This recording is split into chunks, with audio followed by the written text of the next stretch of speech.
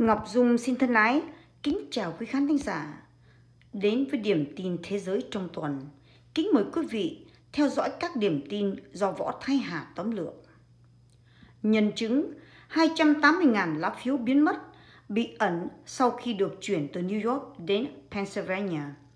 Có tới 288.000 phiếu bầu trong cuộc bầu cử Mỹ năm 2020 đã biến mất ở thành phố Lancaster, tiểu bang Pennsylvania, sau khi được vận chuyển bằng xe tải từ thành phố New York.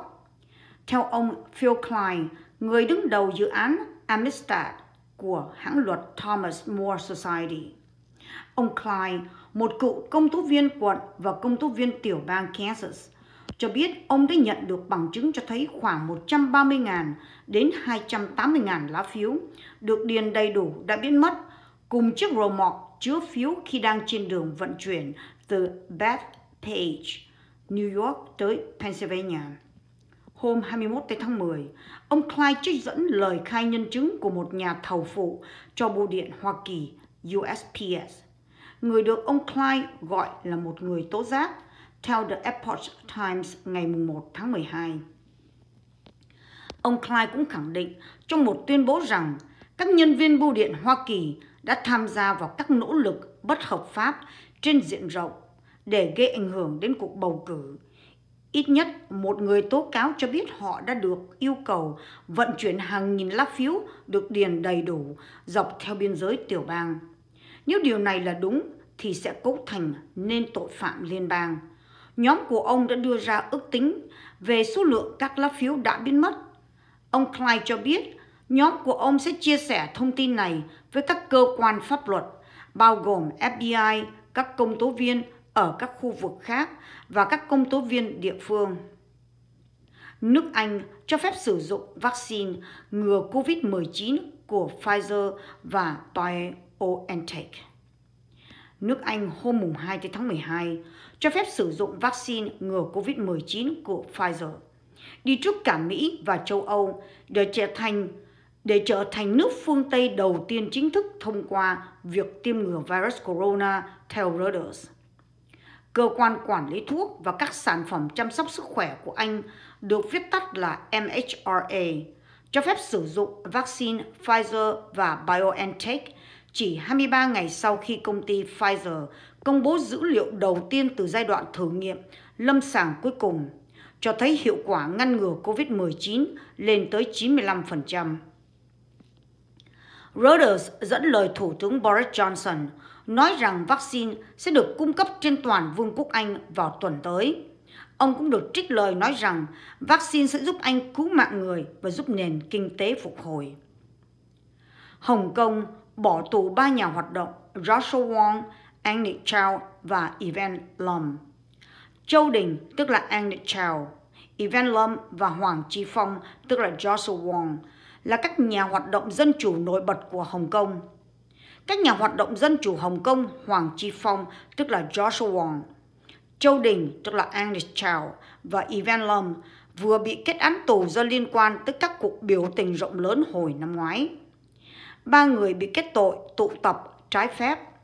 Phong trào dân chủ đã bị chững lại kể từ khi Bắc Kinh ra luật an ninh gây tranh cãi với những mức trừng phạt nặng nề. Tuy nhiên, do hành động của họ xảy ra trước khi luật có hiệu lực, nên các nhà hoạt động này đã tránh được nguy cơ bị án tù trung thân. Hoàng Chi Phong bị án 13 tháng, rưỡi tù giam. Trong khi trong lúc Châu và Lâm bị tù 10 tháng và 7 tháng mỗi người, các nhà hoạt động đã bị tạm giam cho tới khi phán quyết được đưa ra ngày hôm nay. Trong khi đó, Hoàng Chi Phong bị giam cấm cố. Cả ba bị kết tội tổ chức và tham dự vào một cuộc tụ tập trái phép ở gần trụ sở cảnh sát vào thời gian đầu nổ ra các cuộc biểu tình đòi dân chủ hồi tháng 6 năm năm ngoái.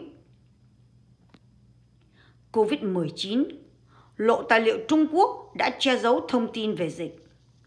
Trong khi Trung Quốc đang tìm cách viết lại nguồn gốc virus corona, trong những đợt tuyên truyền gần đây, một tài liệu gồm 117 trang được chuyển cho đài truyền hình CNN Mỹ cho thấy chính quyền tỉnh Hồ Bắc đã im lặng về số ca nhiễm cúm vào tháng 12 năm 2019.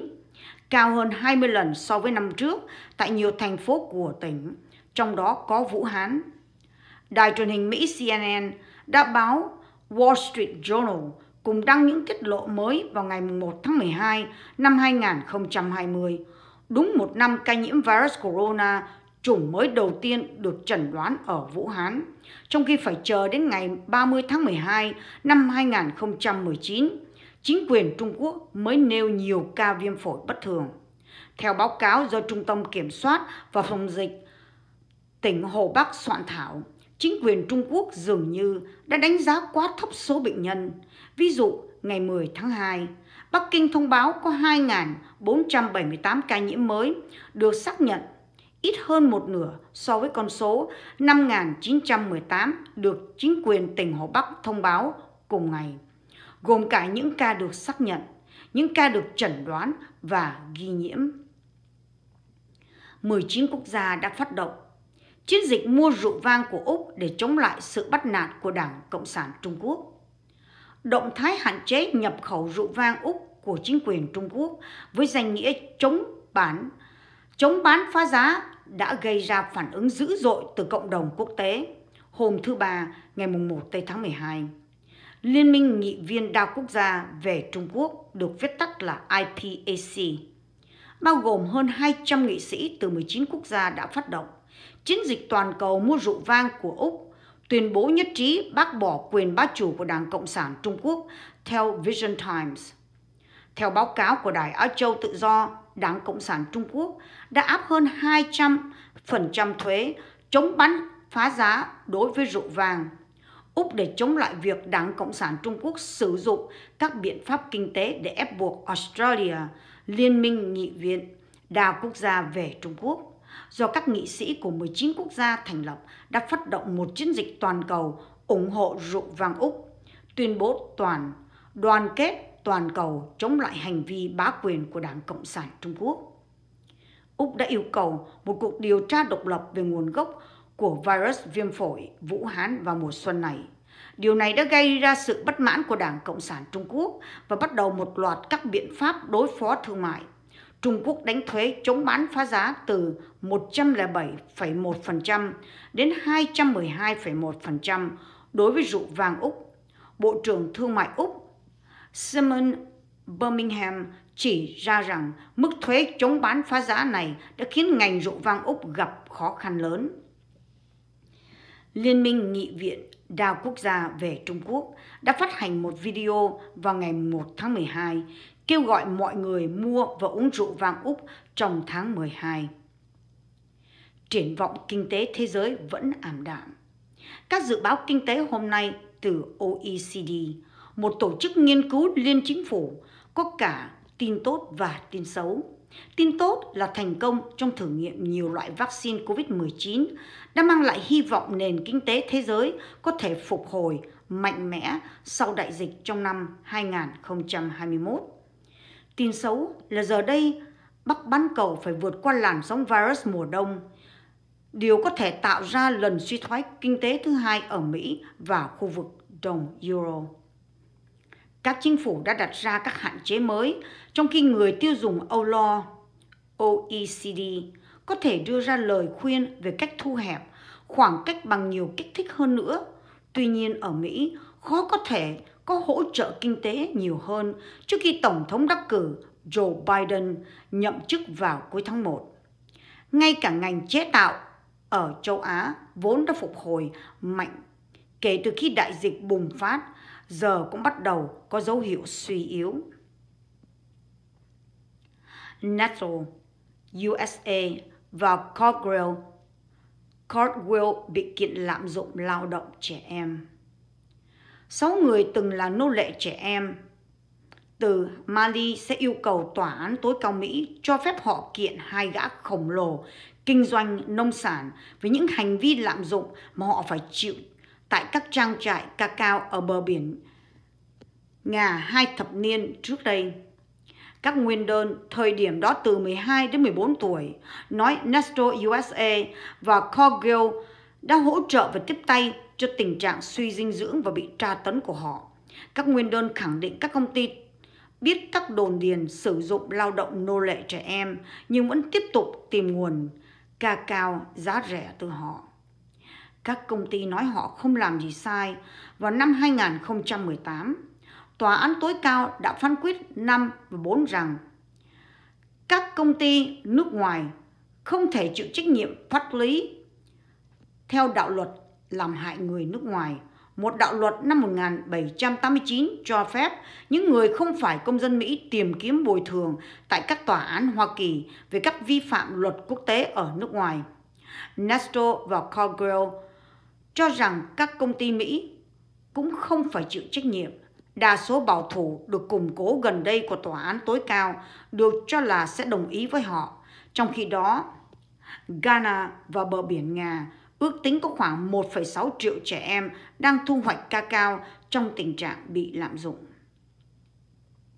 Vì an ninh, Nhật sẽ loại 1.000 máy bay không người lái Trung Quốc. Tokyo, có kế hoạch thay thế dần khoảng 1.000 máy bay không người lái nhập từ Trung Quốc bằng các mẫu mới do Nhật Bản sản xuất nhằm ngăn chặn nguy cơ bị đánh cắp thông tin tình báo và quyền điều khiển máy bay thông qua các cuộc tấn công mạng theo Sound of Hope.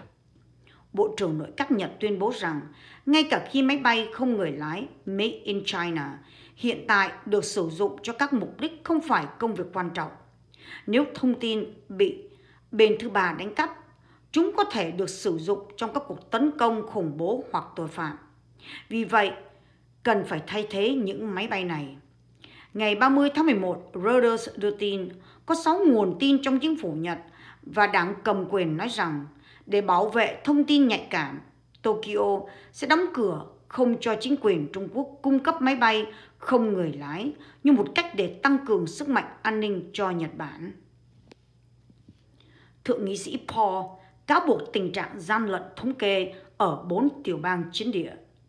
Thượng nghị sĩ tiểu bang Kentucky, ông Rand Paul, hôm Chủ nhật ngày 29 tháng 11 theo giờ của Mỹ, đã chỉ ra một phân tích dữ liệu cáo buộc sự bất thường thống kê xảy ra ở bốn tiểu bang chiến trường vào đêm ngày bầu cử mùng 4 tháng 11, theo The Epoch Times.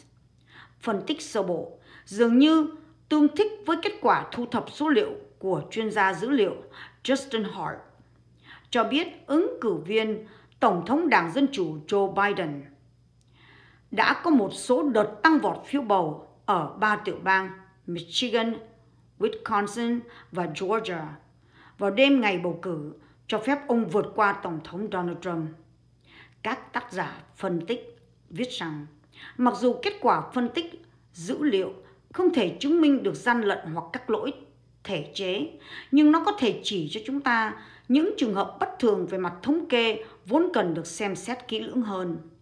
Phân tích của chúng tôi cho thấy rằng một số kết quả cập nhật phiếu bầu ở các tiểu bang cạnh tranh có quy mô lớn bất thường và có tỷ lệ so sánh phiếu bầu của Biden với Trump cao bất thường. Họ tuyên bố có thể chứng minh được rằng kết quả thực tế khá khác biệt so với kết quả đáng nhẽ xảy ra theo diễn tiến thông thường. Sự khác biệt này gây ra lo ngại nghiêm trọng. Các nhà phân tích cũng cho rằng có sự bất thường xảy ra ở Pennsylvania. COVID-19, Trung Quốc thử nghiệm vaccine trên hàng trăm ngàn người. Sinopharm, công ty dược phẩm Trung Quốc, có liên hệ với quân đội để yêu cầu cơ quan y tế cấp giấy phép bán vaccine ngừa COVID sau đợt thử nghiệm ở Trung Đông và Nam Phi.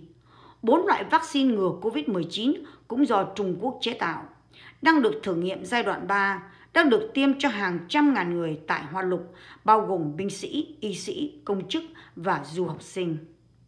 Từ Bắc Kinh, thông tin viên Stephen Lagarde gửi về bài phóng sự Mũ ni áo dạ màu sẫm trong mùa đông thủ đô Bắc Kinh nổi bật trên màu trắng của các tòa nhà của trung tâm sinh hóa y học tọa lạc ở ngoại ô. Trước cổng trong tiếng rò rò từ máy bộ đàm của nhân viên bảo vệ, một hàng rào tự động ra lệnh cho từng người có giấy phép ra vào đi tới. Còn đối với phóng viên chúng tôi thì lần sau trở lại. Một người không rõ danh tánh từ một văn phòng bước ra bảo thể Cảnh tượng này chúng tôi thường gặp phải trong những lần đi làm phóng sự. Các viện bào chế Trung Quốc không cho tiếp xúc với những người được tiêm ngừa khi mà chiến dịch thử nghiệm chưa kết thúc. Các cuộc thử nghiệm có vẻ đạt hiệu quả cao đến 99%, theo như lời cựu Bộ trưởng Tài chính Lâu Kế Vĩ sau khi nhận hai liều như các thành viên trong chính phủ. Thế nhưng, một nữ nhân viên phi trường Hà Bắc, một bác sĩ ở Đường Sơn và nhiều người khác đã được trích ngừa mà phóng viên chúng tôi có cơ hội tiếp xúc đều giữ thái độ thận trọng. Các viện bào chế buộc chúng tôi phải ký giấy cam đoan giữ bí mật. Biểu tình ở Thái Lan hàng ngày liên tục không ngừng nghỉ. Các cuộc biểu tình phản đối chính phủ của người dân Thái Lan tiếp tục nóng lên, song song với các cuộc biểu tình chống đảo chính đảo chính trong những ngày gần đây. Hôm qua, ngày 29 tháng 11, nhóm người biểu tình đã tập trung bên ngoài doanh trại Trung đoàn Bộ binh số 11 của quân đội để phản đối đảo chính tại một quốc gia đã khá quen thuộc với các sự vụ như vậy. Trên thực tế, chính quyền đương nhiệm cũng là hệ quả của một cuộc đảo chính hồi năm 2014. Song song với đó, làn sóng biểu tình phản đối hoàng gia vẫn rất sôi nổi hiện tại khi quốc vương Thái Lan đã có thể trực tiếp nắm quyền chỉ huy Trung đoàn Bộ binh số 11 đã có các nhóm biểu tình chủ trương rằng Trung đoàn Bộ binh số 11 nên quay về chịu sự quản lý của quân đội theo CNA. Kể từ tháng 7, Thái Lan đã dấy lên làn sóng phong trào sinh viên khắp cả nước với các nhóm biểu tình kêu gọi Thủ tướng Prayut Chan-ocha từ chức, sửa đổi hiến pháp và cải tổ hoàng gia. Các cuộc biểu tình bắt đầu nóng lên vào giữa tháng 10 và cuộc cải tổ hoàng gia đã trở thành tâm điểm của các cuộc biểu tình nhân dân, tức là people, do nhiều nhóm biểu tình hợp thành đã từng đệ đơn lên Đại sứ quán Đức tại Thái Lan. Yêu cầu nước Đức hỗ trợ điều tra về hành vi của quốc vương Thái Lan Vajira Longkorn. Trong khoảng thời gian ở tại Đức, các nhóm biểu tình đã diễu hành bên ngoài cung điện hoàng gia và đệ trình những yêu cầu của liên minh của mình lên quốc vương Thái Lan thông qua phương thức mỗi người một lá thư, hy vọng quốc vương Thái Lan có thể lắng nghe tiếng nói của người dân. Cuộc biểu tình gần đây nhất liên quan đến hoàng gia là khi các nhóm biểu tình đến trụ sở của ngân hàng thương mại Siam Thái Lan, Siam Commercial Bank vào ngày 25 tháng 11 yêu cầu minh bạch trong việc quản lý tài sản của hoàng gia. Tân Bộ trưởng Quốc phòng Mỹ có chuyến thăm bất ngờ ở Somalia. Hôm thứ Sáu tuần trước ngày 27 tháng 11, Tân Bộ trưởng Quốc phòng Mỹ Christopher Miller đã có chuyến thăm bất ngờ tới Somalia và gặp gỡ quân đội Mỹ đang đóng quân ở đó. Chuyến thăm diễn ra vào thời điểm Tổng thống Mỹ Trump đang có ý định xem xét việc rút quân đội Mỹ khỏi Somalia theo Epoch Times. Theo tờ báo quân sự Mỹ The Stars and Stripes, ông Miller đã đến Djibouti hôm thứ Năm trong kỳ nghỉ lễ tạ ơn để gặp gỡ các binh sĩ. Binh sĩ Mỹ đóng quân ở nước ngoài, người phát ngôn ngũ giác đài Anton, Antoine Samarot cho biết từ căn cứ căn cứ Djibouti, ông Miller đã bay tới Somalia để bày tỏ lòng biết ơn chân thành và ủng hộ đối với những người lính Mỹ đang cộng tác tại Mogadishu, thủ đô và thành phố lớn nhất của Somalia. Somalia thông tin về căn cứ quân sự hoặc quân đoàn cụ thể mà ông Miller viếng thăm vẫn chưa được công bố. Một quan chức Bộ Quốc phòng cho biết đây có thể chuyến thăm Somalia đầu tiên trong lịch sử của Bộ trưởng Quốc phòng Mỹ. Chuyến thăm của ông Miller diễn ra vào thời điểm chính quyền Mỹ đang cân nhắc việc cắt giảm binh sĩ Mỹ ở Somalia. Ngũ giác đài chưa chính thức thông báo về việc cắt giảm quân đội Mỹ ở Somalia, nhưng các quan chức quốc phòng nói với CNN rằng dự kiến sẽ có đợt cắt giảm nhân sự đáng kể trong vài ngày tới. Bộ trưởng Miller trước đây đã nói rằng một trong những mục tiêu chính của ông đối với Bộ Quốc phòng là hoàn thành cuộc chiến chống lại Al-Qaeda. Tổng thống Brazil công khai đề cập đến gian lận bầu cử Mỹ. Tổng thống Brazil Jair Bolsonaro ngày 29 tháng 11 cho biết ông có nguồn tin cho ông biết rằng cuộc bầu cử Tổng thống Mỹ đầy rẫy gian lận.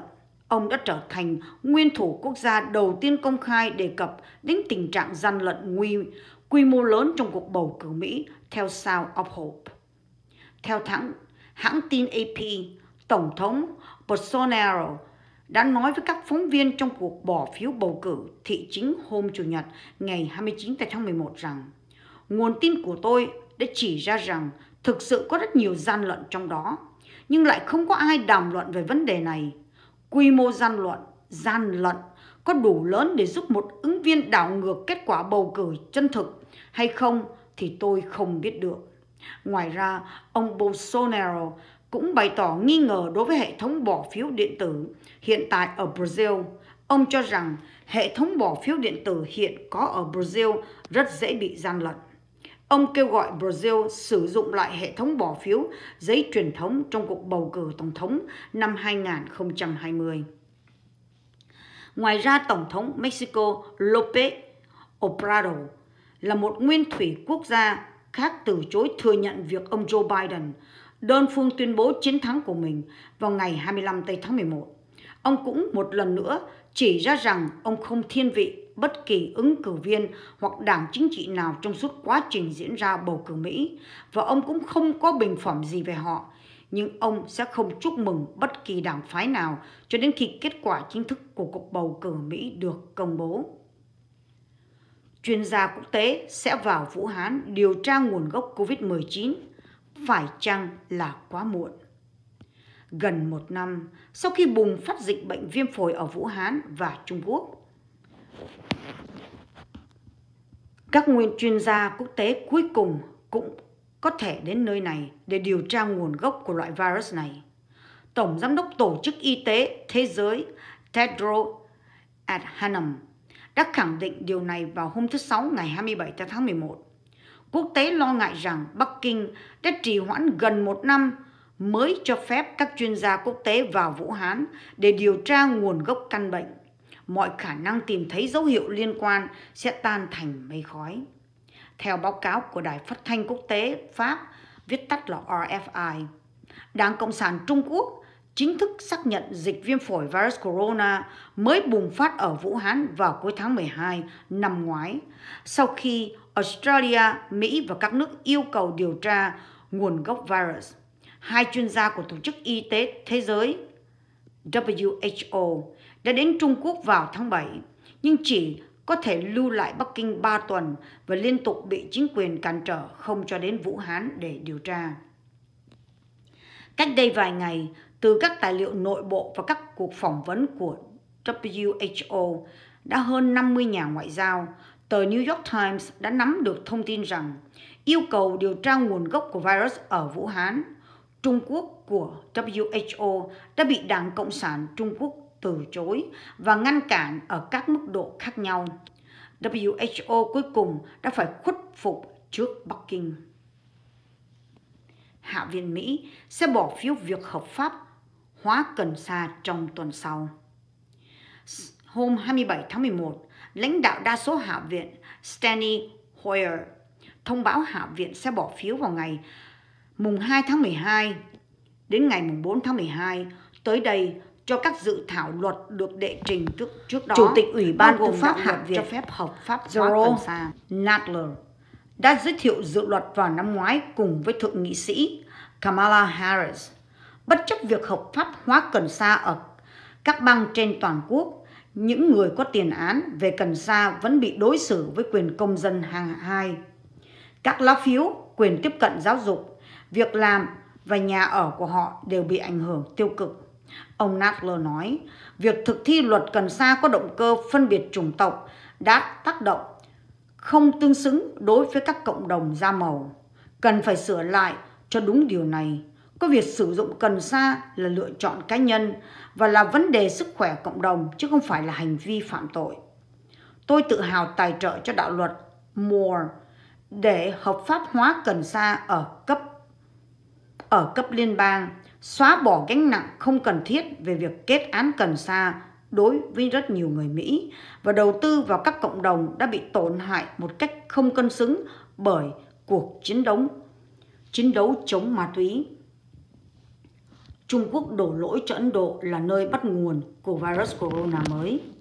Mới đây, các nhà nghiên cứu Trung Quốc đã đăng một báo cáo trên mạng. Trên trang Express UK tuyên bố loại virus corona mới, virus viêm phổi Vũ Hán COVID-19 có thể bắt nguồn từ Ấn Độ. Tuyên bố này đã vấp phải nhiều chỉ trích như những lần trước đó Trung Quốc đổ lỗi cho Mỹ, cho Ý và nguồn gốc nơi sinh ra dịch bệnh. Một nhóm các nhà nghiên cứu tại Học viện Khoa học Trung Quốc đã phân tích bộ gen của virus corona mới để tìm ra chủng có ít đột biến nhất. Sau đó truy tìm nguồn gốc của nó, nhóm này là tuyên bố đã tuyên bố chủng ít đột biến nhất có nguồn gốc từ Ấn Độ hoặc từ một quốc gia láng giềng. Nhóm các nhà nghiên cứu Trung Quốc cho biết virus corona có thể được truy nguyên sớm nhất vào tháng 7 năm 2019, vài tháng trước khi nó được phát hiện lần đầu tiên ở Vũ Hán vào tháng 12. Các nhà nghiên cứu Trung Quốc viết trong nghiên cứu của họ phân tích thống kê về sự đa dạng của chúng SARS, CoV-2 ở các quốc gia, khu vực khác nhau cho thấy tiểu lục địa Ấn Độ có mức độ đa dạng chủng loại virus cao nhất. Hơn nữa dựa trên tỷ lệ đột biến của SARS và CoV-2, chúng tôi ước tính rằng sự lây truyền SARS và CoV-2 sớm nhất trên vật chủ là người có thể được truy tìm từ tháng 7 hoặc tháng 8 năm 2019. Cả thông tin địa lý của chúng ít đột biến nhất và sự đa dạng của chúng đều cho thấy rằng tiểu lục địa Ấn Độ có thể là nơi lây truyền SARS và CoV-2. Từ người sang người sớm nhất, tức là 3 hoặc 4 tháng trước khi bùng phát ở Vũ Hán, các nhà nghiên cứu tuyên bố. Theo các nhà nghiên cứu Trung Quốc, virus lây lan sang người trong bối cảnh đợt nắng nóng, nóng gay gắt ở khu vực phía Bắc Ấn Độ, làm tăng khả năng con người và động vật dùng chung một nguồn nước, các điều kiện cho phép virus lây lan từ động vật sang người. Từ tháng 5 đến tháng 6 năm 2019, đợt nắng nóng, nóng dài thứ hai được ghi nhận đã hoàn thành ở miền Bắc miền Trung Ấn Độ và Pakistan tạo ra cuộc khủng hoảng nước nghiêm trọng ở khu vực này. Theo báo cáo đăng trên Express UK, tình trạng thiếu nước khiến các loài động vật hoang dã như khỉ tham gia vào cuộc tranh giành nước, giết chóc lẫn nhau và chắc chắn sẽ làm tăng cơ hội tương tác giữa người và động vật hoang dã. Doanh số bán hàng trên mạng đạt kỷ lục trong ngày thứ sáu đen ở Mỹ. Doanh số bán hàng trên mạng trong ngày thứ sáu đen, tức là Black Friday, đạt kỷ lục ở Mỹ, trong khi người tiêu dùng kích chuột chất đầy giỏ hàng trực tuyến thay vì đến các cửa hàng truyền thống vì lo ngại về đại dịch. Người tiêu dùng đã chi khoảng 9 tỷ đô la trên các website bán lẻ ở Mỹ vào ngày thứ sáu đen sau lễ tạ ơn theo dịch vụ theo dõi mua sắm trực tuyến Adobe Analytics. Đó là mức tăng 22% so với kỷ lục trước đó là 7,4 tỷ đô la được thiết lập vào năm 2019, AP đưa tin. Trong khi đó, số lượng người đến các cửa hàng truyền thống giảm mạnh do các nhà bán lẻ cố gắng ngăn các đám đông bằng cách cắt giảm giờ làm việc và hạn chế những đợt khuyến mãi ồ ạt theo Sosomatic Solution, một công ty theo dõi bán lẻ. Đồ trang sức và giày dép chứng kiến mức sụt giảm doanh số bán hàng trực tiếp lớn nhất. Theo retailnext một website theo dõi mua sắm, doanh số quần áo giảm 50%, trong khi doanh số đồ gia dụng giảm 39%. Ngay cả với sự sụt giảm đó, Black Friday vẫn có thể sẽ là một trong những đợt mua sắm trực tiếp lớn nhất ở Mỹ trong năm nay.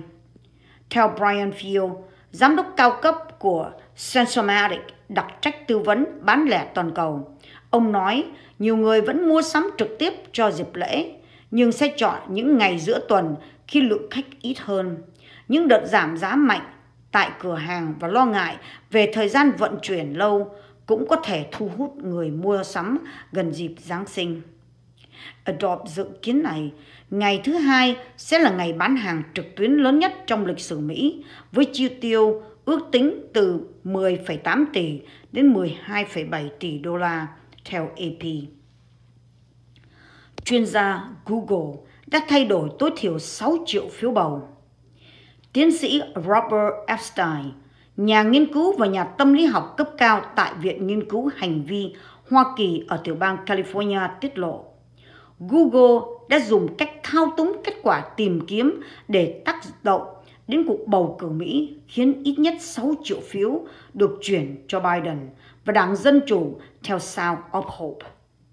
Ông đã nói về kết quả nghiên cứu của mình trong cuộc phỏng vấn ở Tucker Carlson, người dẫn chương trình Fox News. Nhóm nghiên cứu của ông đã bắt đầu theo dõi hoạt động của các công ty công nghệ lớn trước cuộc bầu cử năm 2020. Họ nhận thấy rằng kết quả tìm kiếm của Google có xu hướng thiên vị cho những người theo chủ nghĩa tự do và đảng Dân Chủ. Nhưng xu hướng này không tồn tại trên Bing hay Yahoo. Nhóm của ông đã cài đặt phần mềm đặc biệt cho 733 cử tri để theo dõi hoạt động của họ trên Internet. 733 người này đến từ ba tiểu bang chiến trường rất quan trọng, bao gồm Arizona, Florida và Bắc Carolina. Ông cho biết sau khi được sự đồng ý của những người tham gia, phần mềm cho phép nhóm nghiên cứu xem xét tất cả các hoạt động liên quan đến bầu cử của người dùng trên Internet. Vì vậy nhóm của ông có thể thu nhập kết quả tìm kiếm, lời nhắc, gợi ý tìm kiếm và nguồn tin. Ông nói, chúng tôi cũng đã tìm thấy một bằng chứng thép. Chúng tôi phát, phát hiện ra rằng trong một thời gian các lời nhắc bỏ phiếu trên trang chủ Google chỉ được gửi đến những người theo chủ nghĩa tự do và đảng Dân Chủ. Trong khi đó, không có người dùng theo chủ nghĩa báo thù nào, thường là cử tri đảng Cộng Hòa, nhận được nó. Theo nghiên cứu, tại Mỹ, trang chủ Google nhận được 500 triệu lượt xem mỗi ngày. Họ có khoảng 100.000 nhân viên và doanh thu hàng năm hơn 130 tỷ đô la Mỹ, là công ty Internet lớn nhất thế giới. Cựu CEO trung lập của bầu cử Hoa Kỳ 100% đã bị tấn công. Trong hai cuộc phỏng vấn phát sóng hôm thứ Ba ngày 24 tây tháng 11 của Infowars, khách mời đặc biệt ông Patrick Byrne đã cung cấp thông tin về những cách được dùng để tấn công cuộc bầu cử. Byrne là một doanh nghiệp có bằng tiến sĩ của Đại học Stanford. Ông đã khởi nghiệp nên Overstock, một trong những công ty về thương mại điện tử thành công nhất Hoa Kỳ. Bern đã nói rõ rằng ông không bầu cho ông Tổng thống Trump năm 2016 cũng như không năm 2020. Cuộc đời tôi, tôi chưa bao giờ bỏ phiếu Tổng thống cho Đảng Cộng Hòa hay Dân Chủ. Tôi yêu hiến pháp.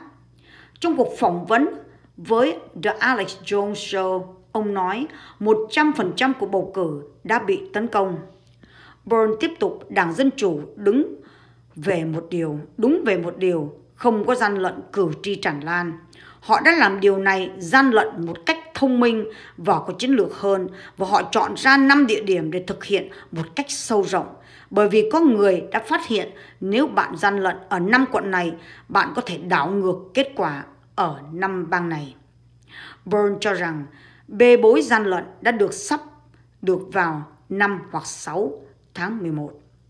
Trong video phỏng vấn, ông cũng mô tả mạng lưới tin đặc và các chuyên gia công nghệ đã thiết kế phần mềm bầu cử Dominion đảo ngược để tấn công hệ thống bỏ phiếu. Kinh tế Ấn Độ có dấu hiệu phục hồi. GDP Ấn Độ đã giảm 24%, trong quý 2 năm so với 3 tháng cùng kỳ năm 2019, suy thoái sâu hơn nhiều so với các nước giàu. Điều này thể hiện mức độ nghiêm trọng của phong tỏa toàn quốc ở Ấn Độ, khiến nước này rơi vào bế tắc. Số liệu quý 3 được công bố hôm nay dự kiến sẽ cho thấy hoạt động kinh tế hồi sinh khí phong tỏa được dỡ bỏ và mọi người bắt đầu đi ra ngoài. Tuy nhiên, mọi thứ khó có thể trở lại bình thường. Hầu hết các nhà kinh tế vẫn ước tính sản lượng quý 3 thấp hơn khoảng 8% so với một năm trước đó. Điều đó đã không ngăn các thị trường ăn mừng. Sensex, chỉ số chuẩn của sàn giao dịch chứng khoán Bombay đã phá kỷ lục. Một phần nhờ các nhà đầu tư nước ngoài quan tâm hơn sau khi có tin tức về tính hiệu quả của vaccine. Giá cổ phiếu đã tăng khoảng 70% kể từ đây hồi tháng 3, nền kinh tế vẫn còn đường dài phía trước, nhưng các nhà đầu tư đã tăng tốc. Người Pháp biểu tình phản đối dự luật an ninh mới. Trong tuần thứ hai liên tiếp, người biểu tình sẽ tập trung tại các thành phố Pháp vào thứ Bảy để chỉ trích dự luật an ninh mới. Dự luật được thiết kế một phần là nhằm bảo vệ các nhân viên thực thi pháp luật trong và ngoài công việc. Điều 24 vốn phạt tội chia sẻ hình ảnh của bác sĩ, quan cảnh sát và binh sĩ trên mạng xã hội vì mục đích xấu một năm tù giam hoặc phạt tiền lên tới 45.000 euro, tức là 54.000 US dollars. Bị phản đối nhiều nhất, đặc biệt là sau khi xuất hiện các video cảnh sát dùng hơi cay và lựu đạn bị nhắm vào người di cư và các nhà báo trong khi trục xuất tàn bạo 500 người di cư khỏi một trại giam ở trung tâm Paris. Hôm thứ Hai, một số người dùng mạng xã hội gọi sự kiện này là đêm nhục nhã 10 cấp dưới của Tổng thống Emmanuel Macron đã bỏ phiếu chống lại dự luật sau khi nó được trình lần đầu lên Quốc hội và 30 người bỏ phiếu trắng sẽ còn nhiều phẫn nộ hơn vào thứ Bảy này. Apple chuyển sản xuất iPad, máy tính từ Trung Quốc sang Việt Nam để tránh rủi ro. Apple yêu cầu Foxconn, đối tác lâu năm của Apple, chuyển một phần hoạt động sản xuất iPad và MacBook từ Trung Quốc sang Việt Nam vì Trung Quốc tiềm ẩn nhiều rủi ro. Nếu đúng như vậy, Việt Nam sẽ là quốc gia thứ hai có nhà máy lắp ráp iPad. Nhằm giảm thiểu những tác động tiêu cực từ cuộc chiến thương mại Mỹ và Trung, Apple đã thực hiện chiến lược đa dạng hóa sản xuất và một trong những động thái mới nhất của hãng là yêu cầu đơn vị sản xuất theo hợp đồng Foxconn chuyển một phần công việc sản xuất linh kiện iPad và MacBook từ Trung Quốc sang Việt Nam, theo Việt Times dẫn tin từ Reuters. Hành động này diễn ra khi chính quyền của Tổng thống Donald Trump khuyến khích các công ty Mỹ chuyển hoạt động sản xuất ra khỏi Trung Quốc. Trong nhiệm kỳ của mình, ông Trump đã nhiều lần áp thuế nhập khẩu cao đối với các thiết bị điện tử được sản xuất tại Trung Quốc, đồng thời hạn chế cung cấp các linh kiện được sản xuất bằng công nghệ của Hoa Kỳ cho các công ty Trung Quốc mà nước này cho là tiềm ẩn nhiều rủi ro với đối với an ninh quốc gia. Các nhà sản xuất Đài Loan, trong đó có Foxconn, vẫn luôn cảnh giác trước nguy cơ bị cuốn vào cuộc chiến thương mại, ăn miếng trả miếng này. Các công ty đã chuyển hoặc đang cân nhắc việc chuyển một số hoạt động sản xuất từ Trung Quốc sang các quốc gia như Việt Nam, Mexico và Ấn Độ. Reuters cho biết Foxconn đang xây dựng dây chuyền lắp ráp máy tính bảng iPad và máy tính sách tay MacBook của Apple tại nhà máy của hãng ở tỉnh Bắc Giang, dự kiến đưa vào hoạt động trong nửa đầu năm 2021. Disney sa thải 32.000 nhân viên. Tập đoàn Walt Disney hôm 25 tháng 11 thông báo sẽ sa thải khoảng 32.000 nhân viên, chủ yếu là các công viên giải trí của hãng vì tác động của Covid-19 theo Reuters. Hãng tin Anh nói thêm rằng con số này tăng thêm khoảng 4.000 so với 28.000 nhân viên công bố hồi tháng 9.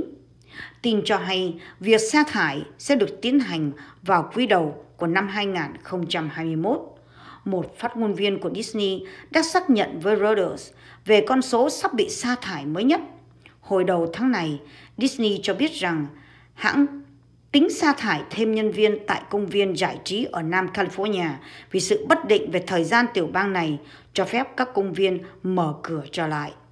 Các công viên khác của Disney ở Florida và các và những nơi khác bên ngoài Hoa Kỳ đã tái mở cửa trở lại đầu năm nay mà không chứng kiến sự bùng phát corona lớn, nhưng áp dụng nghiêm ngặt việc giãn cách xã hội, xét nghiệm và sử dụng khẩu trang. Kính thưa quý khán thính giả, điểm tin thế giới trong tuần hôm nay xin chấm dứt. Ngọc Dung xin thân ái kính chào tạm biệt đến quý khán thính giả và hẹn lại quý vị trong chương trình kỳ tới. Thân chúc tất cả những người thân và những người trong cộng đồng chúng ta, những người Việt Nam trên toàn hải ngoại một ngày thật an lành, hạnh phúc và luôn luôn gìn giữ sức khỏe. Và thứ nhất là chúng ta nên đề phòng đến cái cô Covid này nó hơi nguy hiểm nha quý vị. Quý vị nhớ cẩn thận và đeo mặt nạ nhé. Kính chúc quý vị và chúng ta luôn luôn và cầu nguyện cho Tổng thống Trump được vượt qua sự khó khăn này. Thành thật cảm ơn quý vị.